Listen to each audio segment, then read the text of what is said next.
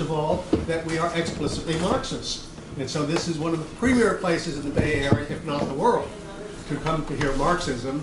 But we also have the unique feature that we are non-sectarian or multi-sectarian. So we have uh, people from diverse groups. Um, we don't necessarily agree on all issues, but we all share a common respect for the work of Karl Marx and uh, an understanding that his work will remain as important for the class struggles of the future as they have been in understanding the class struggles of the past. So we get diverse people from the community, and we're particularly um, fortunate today in having two excellent speakers to speak on Haiti, as you all know. Uh, our thing, they'll talk for about an hour. We will do a fund appeal because we are a grassroots organization relying on the grassroots to support ourselves. And then we will end um, by 12:30, hopefully, a couple minutes uh, leeway there because we have another meeting, a planning meeting. Um, So, um, I wanted to say something else, but, um, Who are these people? pardon? Yes, um, this, uh, I will let Gerald introduce each, um, each other. Do we have a time to keep uh, track on time? I can do that. Okay, Raj will do that, so welcome. And we're really particularly fortunate, I think, in having the two of you I you want here. that. So there are little, little quirks we need to work out. It's the uh, but use of They will be worked out because we have very intelligent people here. So, Yeah, but I'm serious. That didn't work. Excuse me, y'all. We're so close, but so far away. Here we go. See, you got to put it here. You got to say presentation, present. That's what I want to do. I want to pre. Okay. Where's it say? New present? No, present. Present from beginning. There you. Get on that. Get on with it. okay, we'll introduce Gerald Smith of the Oscar Grant Committee, who will introduce our other speaker. Okay, so what we have here is, um, and as I sent out the announcement, here's the point. Black History Month is unfortunately something that is taken for granted by the careless Babylonians. And some of us are so busy trying to stop the 1% from closing our schools, murdering us. I could go on, uh, holding our political prisoners unjustly, that we, we forget that somebody years ago fought so that we could have a Black History Month. This is a part of the effort to honor that fight. Black History Month is important. It matters. I will be giving this presentation at uh, three high schools, and um, and I strongly urge you, our audience, please don't forget about our young people. You know, we need, they need you. They need knowledge. Uh, you're not going to get this lesson, unfortunately, in any public school, and it's unfortunate. Okay, so let's go next one. Oh, no, no, no, no. Uh-oh. Yeah, there we go. Okay, so it, woo, woo, woo, woo. They moving too fast, moving too fast for the kid. Oh, now see, that's, that's, it turned into a slide. All right, I want to just go. Gerald, just click the arrow. Don't click the play button. Just click the arrow. Yeah, that one. That one. Just that one. Okay, there we go. Is black history still relevant? Yes, it is. And why? Because black people are still oppressed. And I, I have to say, because I give this presentation in all kinds of quarters, does this require proof? Unfortunately, you laugh, it does require proof. And just three of the things I bring up is police murders, the continued crisis and the overpopulation in, in our prisons, and the unequal unemployment that we see among black people. So let's go. No, now see why you why you want? Okay, okay, okay. I got it. I got it now. I think. Okay, so the question then: What is history? A study of past events, particularly related to human affairs. But in order to appreciate history, you have to understand that historians have various perspectives. And this is it's true today, and it might be true for some of you. Because I, I remember I bought a book on the French Revolution by this conservative, and my partner looked at the book, and he said, "What, what, what you doing with that book in your house?" I said, "Man, what you talking about? Knowledge is knowledge." No, it ain't. No, it ain't. We don't need to hear and, and, and, and to further reinforce the ideology of our most bitter enemies in what we read. When we have the time to read something, check out your authors. Think before you read. Okay.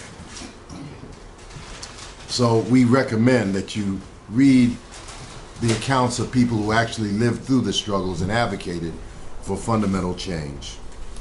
Okay. So black history, and this is key, makes up, as John Henrik Clarke taught us, the missing pages of human history. That's what black history is.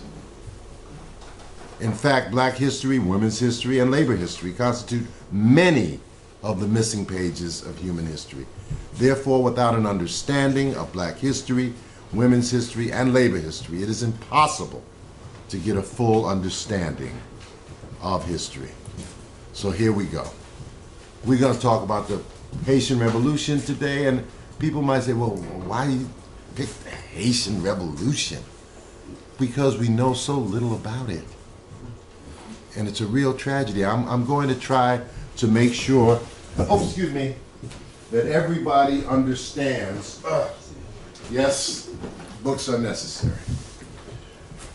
Not only the revolution and what happened, we're going to go over that, but the impact of this revolution.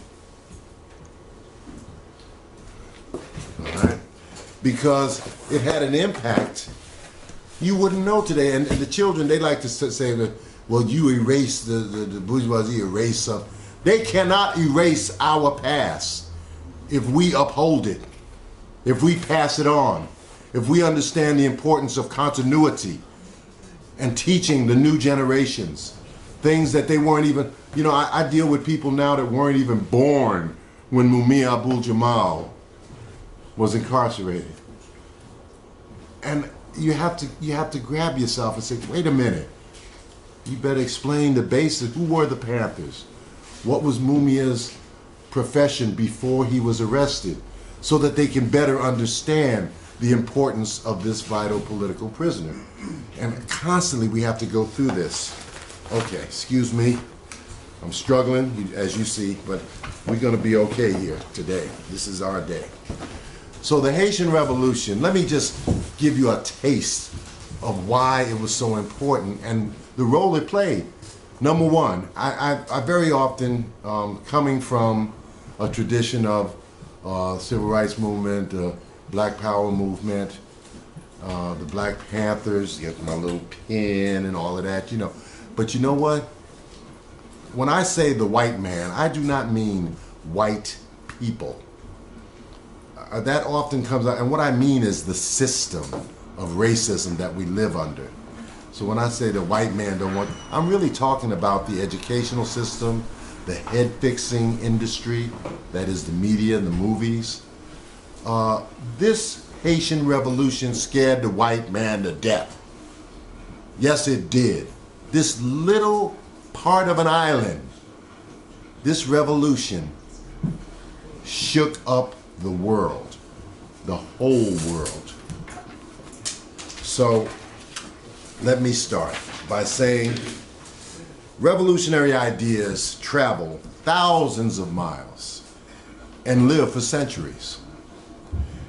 Working people who are resisting exploitation and oppression reap inspiration from both the living struggles that they see around them and they participate in and also from historic examples. I found inspiration in the Russian Revolution. To this day, uh, my little email address is gsmith1917 because that's the date for me. 1917. You know? Inspires me to this day. And this is true of the masses, and the Haitian Revolution is such an event. it provided us with not only, um, you know, the inspiration, but also a historic example. Just as Cuba and China represent liberated territory to many of the oppressed people of this world, Haiti in the 19th century was a beacon of hope. For it, it not only it, it, it liberated, you know, some territory, but it was the only liberated territory in the entire Western Hemisphere that at that time was dominated by chattel slavery. And, and so I, I, I heard one you say, well, Gerald, you you's a proletarian revolutionary. Why, why you keep talking about the slaves? Well, bruh, listen, listen here. At that time in human history, there were more slaves than workers in America. The average American shop may have had five to ten employees maximum. But already, as we saw in Haiti, you had huge plantations with hundreds of slaves. And eventually in the United States, thousands of slaves. Slavery, okay, let me, let's take, take your time. Let's take your time. Say chattel again, the word got lost and when, when you Well, said- all right. say Thank, chattel. thank you very much. And she's right about that because we are still slaves. I know, you know, you say, I ain't no slave. Well, you just ain't got no damn sense. You're a wage slave. Yeah, All right? It's a different type of slavery. I'm talking about, in this presentation, chattel slavery, where the human being himself or herself was actual a commodity and was bought and sold on the market. Okay? Now, this book, Capitalism Slavery, is something you want to recommend to our young people. Explains by Eric Williams, explains who was, by the way, the Prime Minister of um, the prime minister of go back, go back. You're messing up. I didn't tell you to do that. The prime minister of Trinidad explains the international role of slavery. It's something that we don't seem to understand in our normal discourse. Why is that important? Because we need to understand that capitalism, as we know it, would never have existed without chattel slavery. Chattel slavery became what's called the primitive accumulation. It provided the primitive accumulation of capital. That's where they got their gap, is how they say it in the ghetto, they gap. The, the primitive accumulation means the monies that went into buying the factories. Example, slavery was so central to early capitalism that it, it, it we talk about mercantile, they tell you about mercantilism, that trade. Well, what boosted mercantile capitalism was slavery. So if you're going to have a ship, guess what? You got to make a ship. Where did they make the ships in America? Mostly Rhode Island is where they actually, that was a center of shipbuilding in America. Know that. Well, wait a minute. Now, I'm, I got a little money, but I, I'm ambitious. I want to I want to make a ship. I want to. I get a crew. I'm going to go to Africa. I want. Where I'm gonna get my monies? Uh, Mama, can you can you loan me a little? Oh, okay, okay, all right. Well, you go to a bank. The bank loans would-be slave owners monies for ships, for slaves, for land. Capitalism in America was a, I mean, slavery was a capitalist enterprise. And this is what provided all of that, you know, that money that later on was used to build factories and other levels of capitalism. Okay? So when Randall Robinson writes his book, The Debt, when people start talking about reparations, don't roll your eyes, my friends. The capitalists do owe us because without slavery, there would be, as I said, no capitalism. Okay, so this very important book. I'm going to, oh, excuse me, y'all. Now, this one is a book that I think, the yes, we do have to review knowledge because not, we don't all, we want to even out our understanding. You know, this Gerald Horne a very prolific author, wrote this book, The, the Counter Revolution of 1776, and it turned my understanding around. I didn't understand, you know, y'all don't know, y'all, y'all might have been peasants in Europe without the primitive accumulation of capital internationally by slavery, but also the American history and the whole history of the West was very contentious. The colonialists were fighting each other for who was going to rule this area. And it's a very interesting history, actually. For instance, Jamaica flipped between, flipped. I don't like to use the youth's words sometimes because was taken over by Spain and then reconquered by by Britain six times. They were fighting each other, cutting each other's throat. You know how to you know how they think, their philosophy, what they're about. They stabbed their mother in the back for a dollar. And for riches, they really went crazy. So you had in the United States, Florida was what? That was Spain. Then you had the 13 original colonies, right? But you also had this whole corridor that was called Louisiana that went from the Gulf of Mexico all the way up to Canada. Okay? So this was a contentious who was going to rule this new world. It was not decided.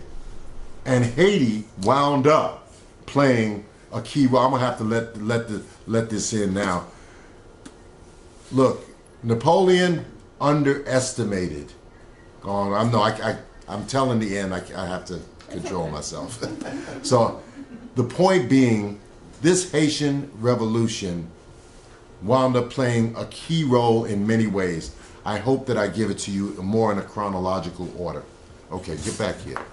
Okay, so who freed the slaves? This is what I tell you. Well, of course, in America, people say, well, Mr. Lincoln's, Mr. Lincoln's, Master Lincoln's freed the slaves. Oh, is that right?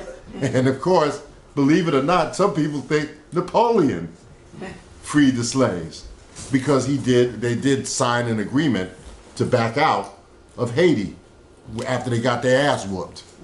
All right? I'm sorry. Uh, after they lost, they were defeated. Okay. Well, actually, I would like to submit to you a novel idea. The slaves freed the slaves.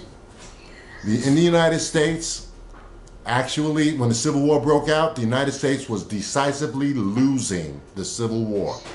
Frederick Douglass went to Mr. Lincoln and said, Sir, if you want to win this war, I think there's two things you're going to have to do. You're going to have to take black soldiers into your army, and you're going to have to issue an Emancipation Proclamation letting the slaves know that they got some skin in the game.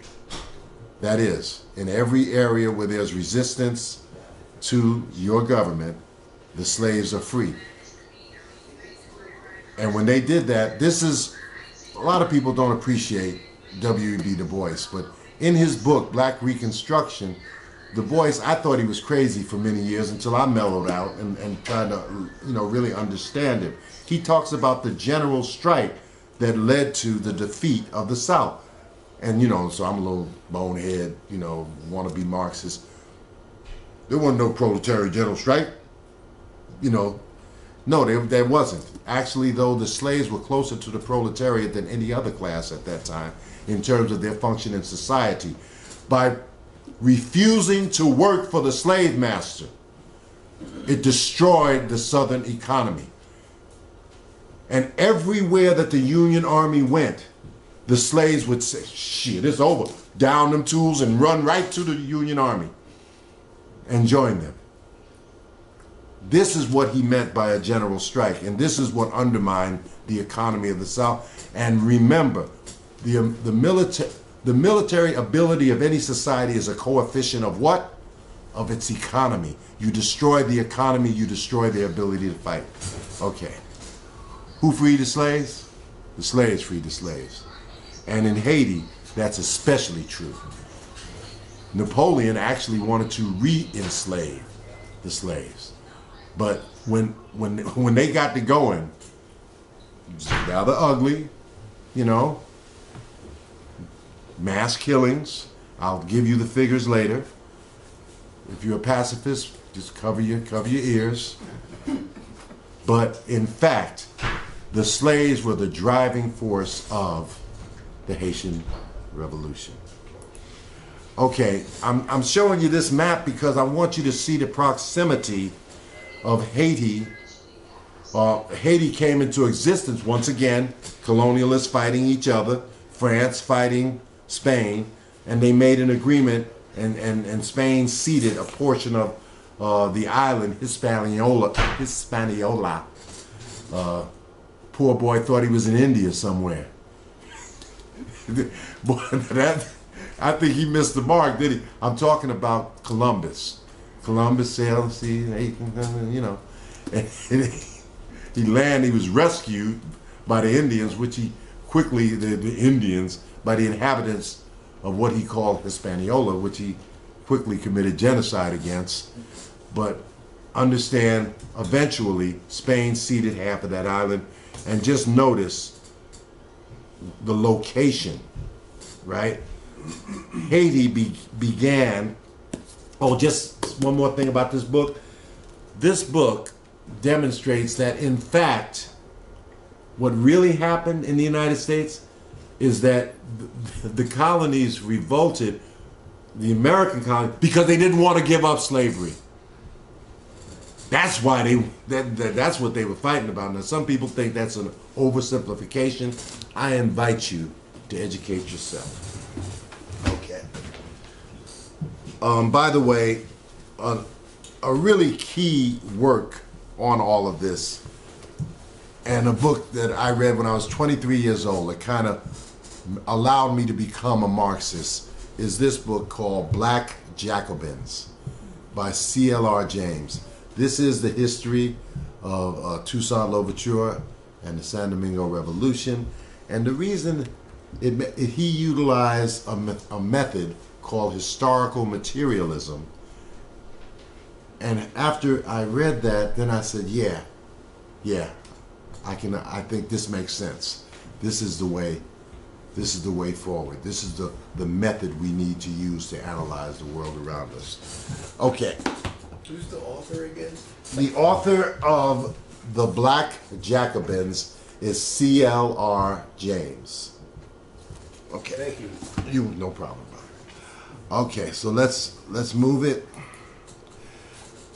Before we get to Toussaint, I I want to first give you a sense of why the Haitian Revolution was so powerful and why so successful because there are definite historical reasons.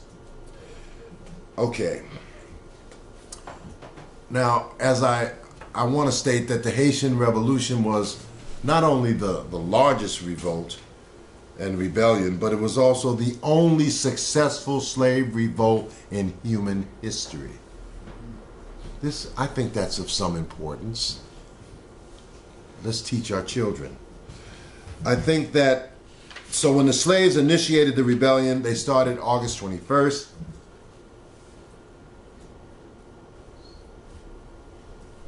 1791, Pierre constantly prods me and explains, no, that was not the first attempt. Well, of course, oppression, you know, repression breeds resistance. Of course, there were always attempts. People want to be free. But I want to say that what you had in large part, and he'll talk about prior attempts in his presentation in large part what you had was a lot of the way a lot of people dealt with it is they just escaped from the plantations and they went up into the mountains. They call these people maroons. There were maroons in the United States. They are. They don't want to talk about. Tell you something about the you know the Underground Railroad, which is good, but there were maroons in the United States that would come from their hiding, go into plantations, free slaves, and bring them back across the border. For years, the Seminole Indians provided shelter and comfort for Maroons who uh, breached the border, went into South Carolina, freed slaves, and brought them back into Florida. This happened regularly until finally they were militarily defeated. So Maroons uh, in this is why you have to look at it as an international phenomenon. Maroons in Brazil, big. I mean, these are huge communities, huge communities. You know, but I want to say that the resistance really started effectively, and I'm as, as a as a revolution, 1791. And I believe that the French Revolution played a role. That is why um, C.L.R. James talks about the Black Jacobins, because while at the time the revolution began, Toussaint Louverture was working with the Spanish against the French. The enemy of my enemy is my friend. Yeah, that's right. I'm trying to get free, man. I don't know all that. I don't, you know, shit. Y'all, y'all the one dogging us, so I'm, I'm, I'm gonna work with, you know, with these other cats. The, the, the Spanish saw this revolution unfolding and said, um, let's see what, what we can, you know, work out here. But after the publication of the Declaration of the Rights of Man, I know that Toussaint Louverture, having read that document, oh, by the way, Toussaint Louverture was a slave himself. He was taught to read, though, as a slave by his master. And eventually he was freed and actually owned slaves himself. That's right, the, uh, one of the ironies of history. But he grew intellectually to the point to where he was opposed to slavery period now there were as i as i will explain there were different gradations of of, of uh, you know so what you had you had the planters you had the petit blancs the small whites who did not own slaves then you had creole or mulattoes free blacks and then 500000 slaves a little bit on the condition of the slaves so that you understand. So the French Revolution is the backdrop for all of this, which starts in 1789. So what you have is what would make a slave want to be free? That's almost ridiculous to state, but let's get back there. I ain't tell you, man. I, I'm telling you, boy, Google. anyway, what would make a slave want to be free? I, well, I'll tell you how they were treated. Okay, so let's just talk about basic conditions. Most of the slaves in Haiti were brought directly from Africa. So they had living memory of what it was like to be free. So you got to imagine that one day you just walking, you know, enjoying life, and next day you being beat because you're not cutting the cane fast enough. This is living memory. Unfortunately, they worked the slaves so hard, approximately 18 hours a day. 18 hours a day. That the French government had to issue laws to, because they were dying, the slaves were dying so quickly. 50% of the slaves died within one year.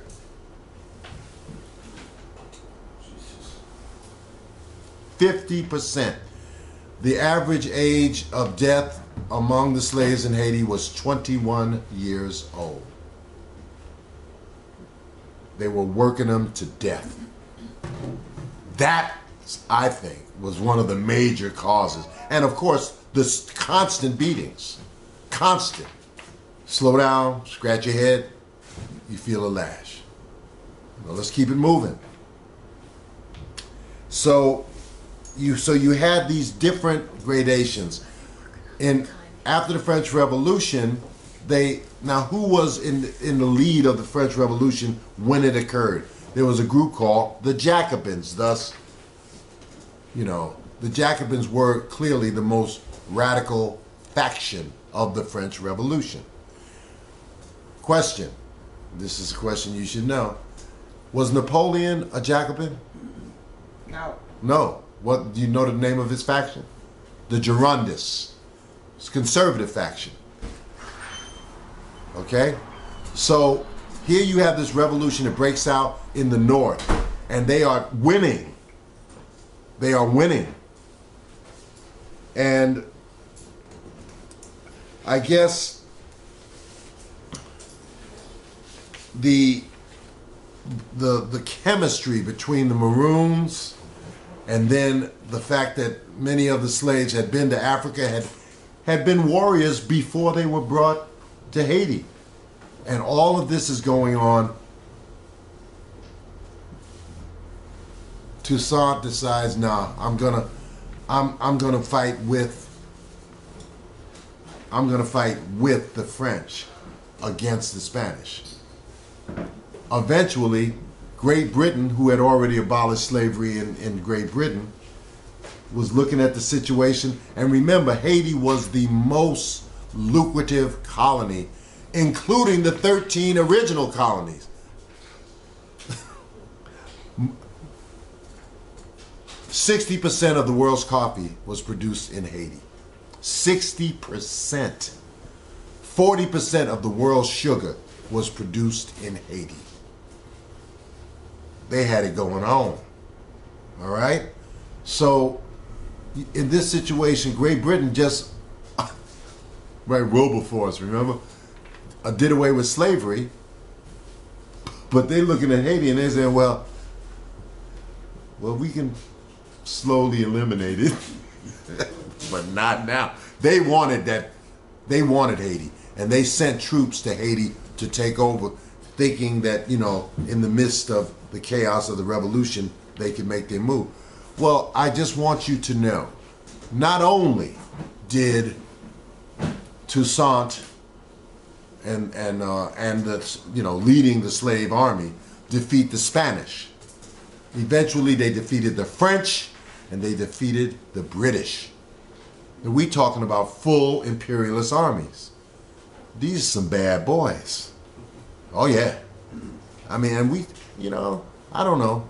I take some pride in that fact that they were able, under those conditions, to defeat those colonialist and future imperialist armies. So,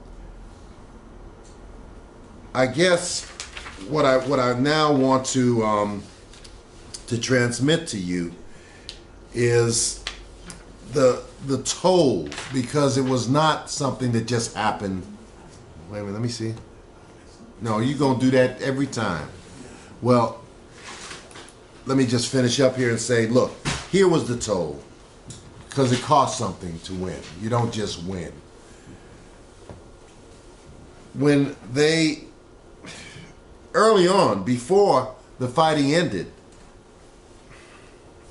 a hundred thousand slaves of the five hundred thousand that existed were killed. That's what it took to win. 24,000 of the 40,000 white people that were on the island died in the conflict. That's, I mean, you know, they was fighting. This was serious business. Okay. I think that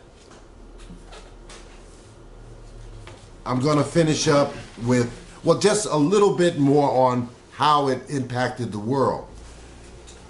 So, Napoleon, who totally underestimated the slaves and the army and their leadership, decided that he wanted to reintroduce slavery. He sent 28,000 troops to Haiti to reintroduce slavery. And I think it's really interesting. I've, I've read several histories. He made, he made me. And, and they talk about, well, you know, they, they got the yellow fever. Yeah, yeah, they got the yellow fever. Everybody get yellow fever. Black people get yellow fever too. You know? but they still, you understand what they what they don't want to just say is that this slave army defeated these colonialists up and down the line. And even after they defeated Great Britain, That's Napoleon decides, okay, look, we want to reimpose slavery. And, and Toussaint Louverture was very sophisticated. He had spies in France checking out what was going on and getting back to him. So he knew that Napoleon wanted to introduce slavery. And just so you know, this is not a subject.